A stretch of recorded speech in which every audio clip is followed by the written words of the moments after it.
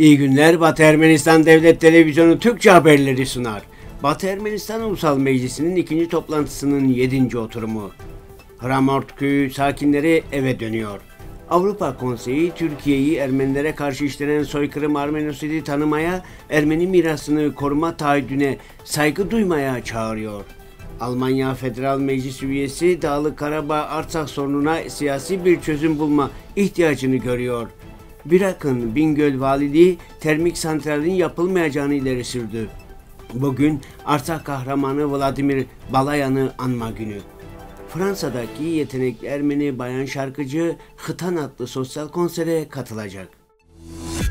Batı Ermenistan Ulusal Meclisi'nin ikinci toplantısının 7. oturumu 28 Mayıs'ta gerçekleşti. Oturuma Batı Ermenistan milletvekilleri, Batı Ermenistan Devlet Başkanı Armenak Abrahamyan ve hükümet üyeleri katıldı. Oturuma Ulusal Meclis Başkanı Neli Artunyan başkanlık etti.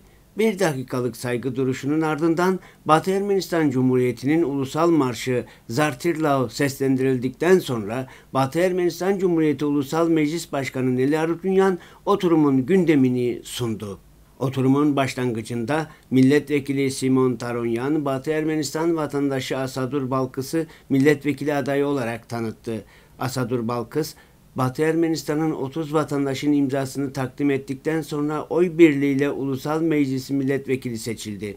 Asadur Balkız 1 Nisan 1978'de Batı Ermenistan'ın Dersim kentinde doğdu. Çeşitli sivil toplum kuruluşlarında yönetici olarak görev yaptı. Şimdi Dersim Hay platformunun Dersim temsilcisi ve aynı zamanda aynı platforma ait olan Hay Dersim Kültür Sanat Dergisi'nin imtiyaz sahibi ve yazı işleri müdürüdür.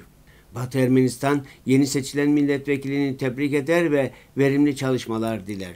Gündemin bir sonraki noktasında Parlamento Başkanı Batı Ermenistan Ulusal Meclisi'nin komitelerini sundu.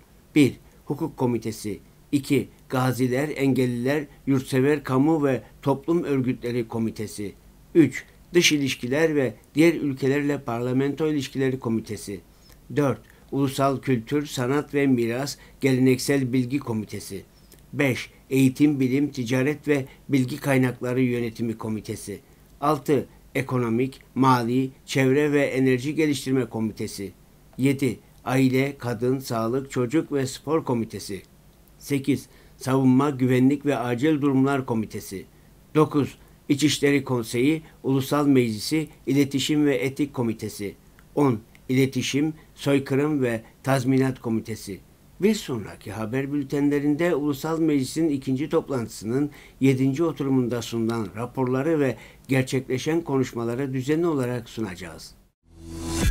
Artsak'ın Hramort köyü muhtarı Zorik Abrahamyan, Azerbaycan saldırganlığı nedeniyle evlerini terk eden Hramort halkının yavaş yavaş köye döndüğünü ifade etti. Köy muhtarı, vatandaşlar birbirini takip ederek yavaş yavaş dönüyor, köy gerçek köye dönüştü. İnsanlar bahçelerini ekiyor, dut yetiştiriyor ve günlük işlerini gerçekleştiriyor. Halkın güvenliğinin tam olarak sağlandığından emin olmalıyız. Köyde bizim mevzilerimiz ve Rus barış güçlerinin de üstleri var ama her halükarda aniden bir şey olursa bunun sorumlusu kim olacak? En azından Karaguluh bölgesinde durum aynı. Düşman hala orada dedi. Avrupa Konseyi 7 Haziran'da Türkiye hakkında Ermenilere karşı işlenen soykırım Armenosidi tanımaya ve Ermeni kültürel mirasının korunmasına olan sorumluluğuna saygı duymaya çağıran bir raporu kabul etti. 67'ye karşı 448 evet ve 107 çekimser oyla kabul edilen raporda son dönemde Ermenistan Cumhuriyeti Türkiye ilişkilerini normalleştirme çabalarına atıfta bulunuldu. Avrupa Konseyi 15 Nisan 2015'te Ermenilere karşı uygulanan soykırım Armenosidinin 100. yıl dönümü vesilesiyle örgüt tarafından kabul edilen kararına atıfta bulunarak Türkiye'yi bir kez daha Ermenilere karşı yapılan soykırım Armenosidi tanımaya, Ermeni ve diğer kültürel miras değerlerini koruma yükümlülüklerine tam olarak uymaya nasihatta bulundu. Raporun 17. maddesi Türk makamları tarafından Mart 2021'de yeni bir insan hakları eylem planının kabul edilmesini memnuniyetle karşıladığını ancak bazı sorunların hala çözülmemiş olduğunu belirtiyor. Türk makamlarını Kürtlerin, yerli Ermenilerin ve özellikle Roman topluluğunun barınma ve eğitim durumlarını etkili bir şekilde ele alma çabalarını yoğunlaştırmaya çağırıyor. 42. madde Türkiye ile Ermenistan Cumhuriyeti arasında yakın zamanda gerçekleşen yakınlaşmayı, ikili anlaşmalar, imzalama kararlarını, özel elçilerin atanmasını, iki ülke arasındaki uçuşların yeniden başlatılmasını memnuniyetle karşılıyor. Avrupa Birliği'ni bu süreci aktif olarak desteklemeye çağırıyor ve Türkiye'yi bir kez daha Ermenilere karşı uygulanan soykırım Armenosidi tanımaya teşvik ediyor.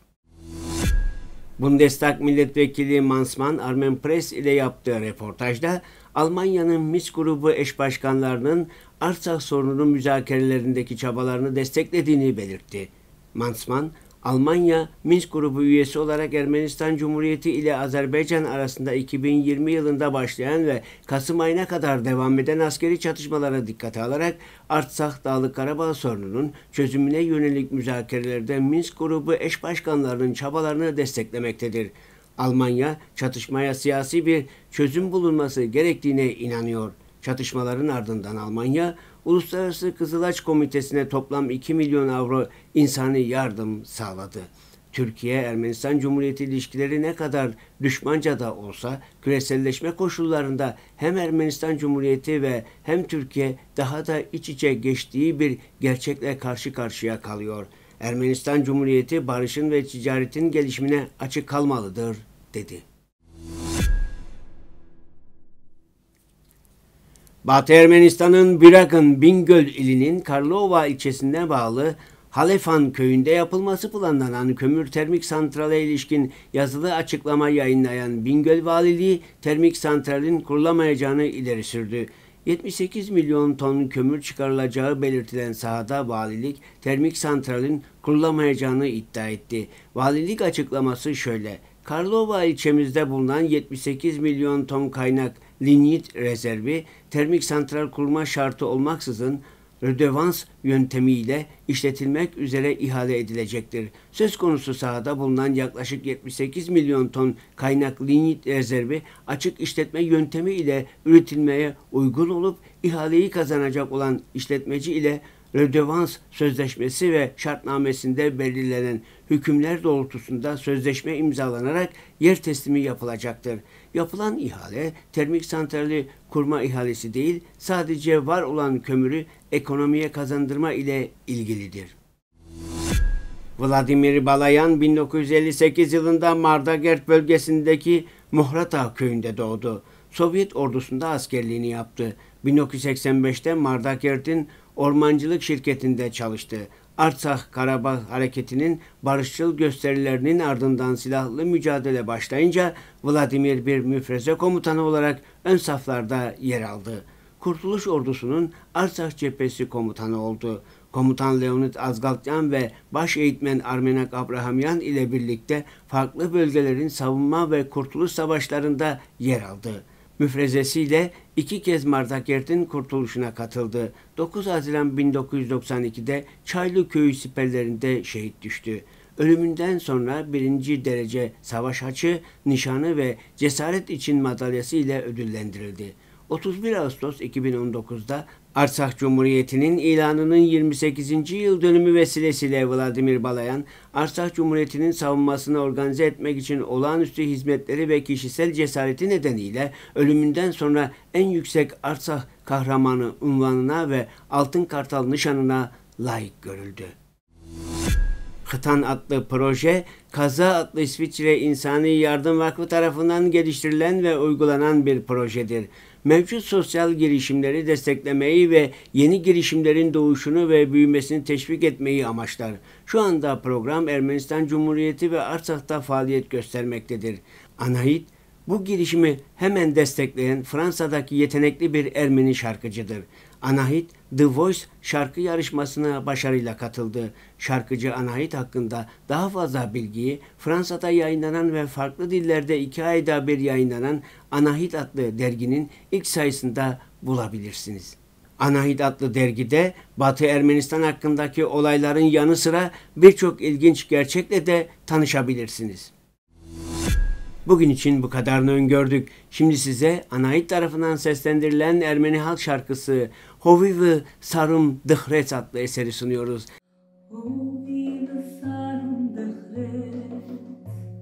Siro yekene bayet Hovi besarum gahret Siro